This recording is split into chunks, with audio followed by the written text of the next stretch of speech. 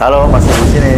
Teman-teman, kembali jumpa dengan saya, Mas Nur dari Pondok Ilmu Indonesia. Pada video saat ini, saya masih ingin berbagi pada Anda semua bagaimana cara mengatasi atau Anda bisa selamat dari kejahatan yang menggunakan modus gendam, menggunakan modus hipnotis. Khususnya buat Anda yang sering bepergian ya. Video ini sangat bermanfaat buat Anda sendiri atau nanti bisa Anda bagikan ke keluarga Anda. Oke, langsung saja kita mulai videonya. Nah, sebelumnya buat Anda yang belum ngopi, silahkan Anda ngopi dulu supaya Anda lebih rileks dalam menyimak video saya sampai selesai.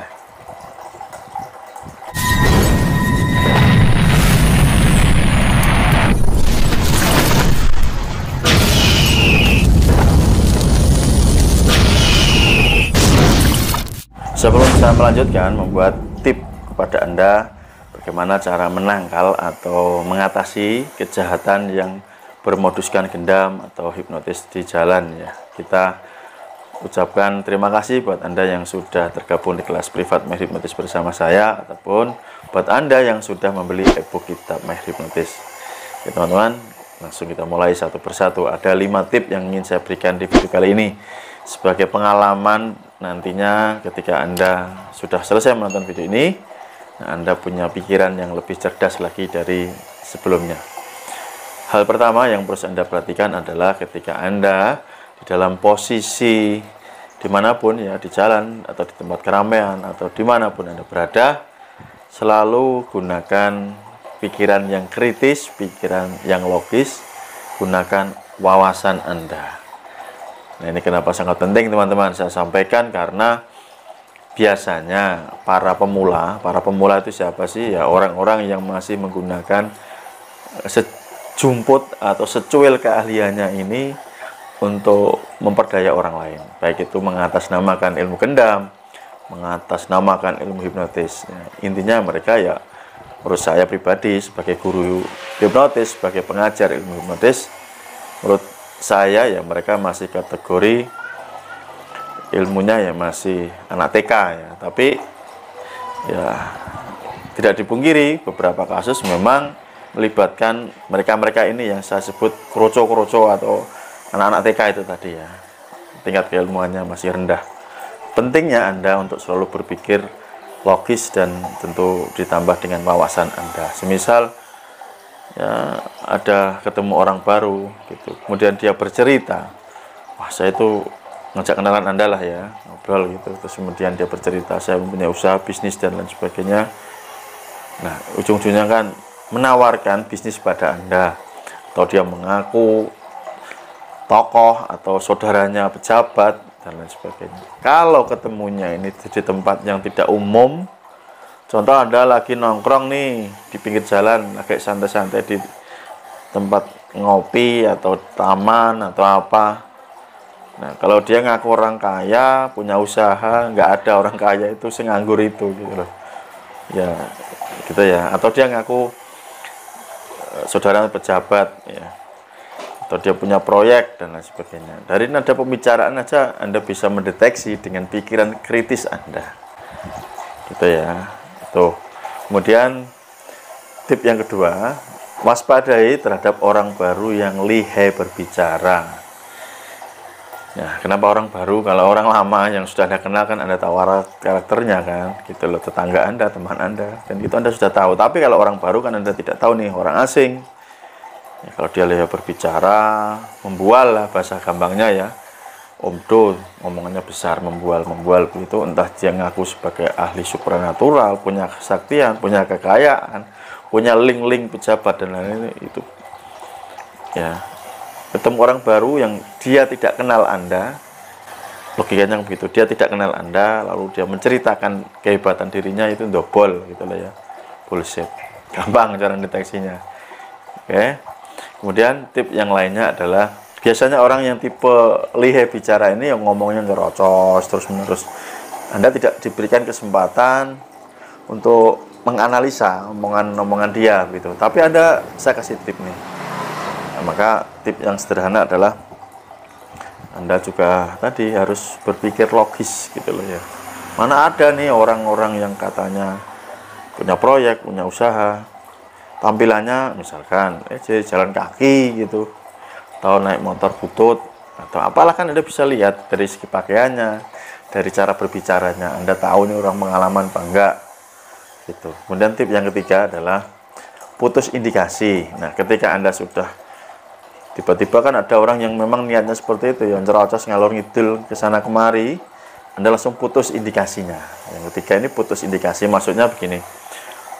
Kalau ada orang tadi bercerita, Anda katakan, gini Pak, saya juga punya masalah. Bapak bisa bantu saya Pak? Oh, pasti Mas bisa, kan gitu. Orangnya sok-sokan PD begitu. Oh, masalahnya apa Mas? Ini Pak, tadi kan saya buat program nih ya. Ternyata ketika saya masukkan ini uh, codingnya ini nggak masuk Pak. Ini terjadi bug Pak. Sehingga jaringannya itu nggak stabil gitu loh. Orangnya jadi bingung. Maksudnya apa sih kata-kata saya gini loh. Jadi anda menggunakan ganti yang berbicara. Gunakan kemampuan anda gunakan pengalaman anda yang sekiranya dia tidak miliki gitu. Tadi dia membual tentang kekayaan atau supranatural kehebatan-kehebatan kesaktian dan anda ganti topik pembicaraan alihkan putuskan indikasinya anda bisa bercerita tadi tentang seolah-olah Anda sedang merancam sebuah programmer. Dia akan pusing, dia orang bodoh kan. Kita kan pasti nggak paham gitu loh. Bisa bantu saya Pak, ya, gitu loh. Saya lagi membuat bot ini Pak, buat programmer ini Pak, supaya jalan gimana nih. Gantian Anda yang bicara gitu. Buat dia pusing gitu loh, paham ya? Sebenarnya sederhana, mereka ini ingin Anda ini dikasih overload message ya. Dengan kata-kata yang terus menerus tanpa putus itu membuat otak Anda ini penuh overload. Ketika otak overload ini kan susah berpikir logis gitu maksud dia. Tip yang keempat adalah waspadai juga orang yang melakukan tepuk pundak. Tepuk pundak itu kalau berita-berita di TV kan begitu ya. Orang ditepuk pundak terus langsung hilang ingatan enggak enggak seperti itu teman-teman. Tepuk pundak itu hanya salah satu teknik shock induction ya. Itu pun kalau yang ditepuk orangnya tipenya sugestif jadi gerbang alam bawah sadarnya terbuka membuka gerbang saja. Nah sesaat ketika anda dilakukan itu ada orang mengatakan langsung was tepuk balik. Ya ngapain sih gitu.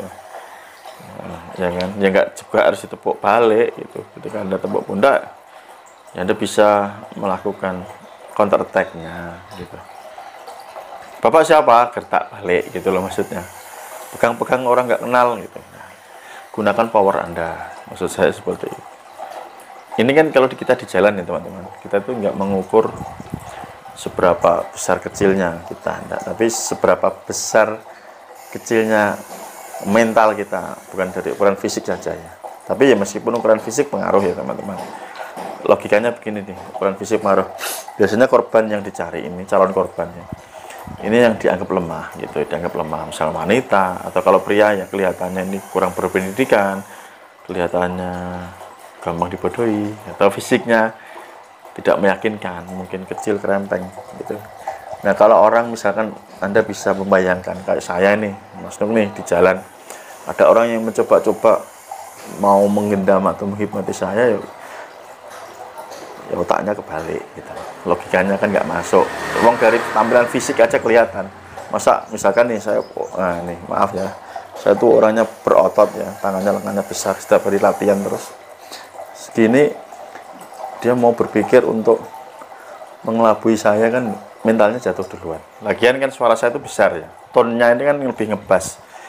Lebih besar tonnya. Kemudian tatapan mata saya itu sangat tajam. Gestur saya gagah kuat. Berpikir seribu kali untuk melakukan dengan tipe orang yang mirip saya gitu. maka dicarilah orang-orang yang dianggap lemah. Tuh anda misalkan perempuan ya jangan takut teriak kalau perlu. Teriak maksudnya eh, gertak balik gitu. Biar sekeliling anda itu ada atensi. Apa sih apa sih kok ramai-ramai kan gitu. Ini loh pak orang nggak kenal pegang-pegang aja. Nah gitu nggak apa-apa karena ini demi supaya pikiran alam bawah sadar Anda ini tetap aman. Oke? Okay? Atau yang kelima atau yang terakhir adalah hindari. Ya, jika Anda memang merasa nggak nyaman ya tinggalkan saja. Anggap saja itu nggak penting. Memang nggak penting, Anda nggak kenal, gitu loh. Paling gampang ketika ada orang mendekat ngajak ngomong tinggalkan aja. Itu ya teman-teman. Ini tips sederhana buat Anda pemula jangan khawatir karena memang ilmu itu tidak ada yang salah teman-teman enggak ilmu itu menurut saya ya netral pengalaman saya mengajarkan dan menggunakan ilmu netral. Ilmu hipnotis misalkan ilmu gendam ya bisa digunakan untuk pekerjaan yang baik ya membantu anda membantu orang lain. Ini kan banyak sekali manfaatnya. Seperti anda membeli sebilah pisau yang tajam di pasar atau di toko. Nah kalau yang membeli ini seorang chef seorang ahli masak digunakan untuk memasak masakan yang jadi enak. Tetapi kalau yang membeli ini memang niatnya memang orangnya jahat ya bisa dibuat nodong bisa musuh orang di jalan dan berbagai kejahatan lainnya. Jadi bukan pisaunya yang salah gitu. Tapi siapa yang menggunakannya? Gitu teman-teman. Semoga bermanfaat karena kemarin kalau saya perhatikan ada yang bertanya bagaimana sih cara mengatasi atau menghindari atau tips selamat dari kejahatan yang bermodus gendam atau hipnotis? Oke demikian. Semoga menjadi pencerahan buat anda semuanya. Saya tunggu di kelas privat saya. See you next time. Bye bye salam hipnosa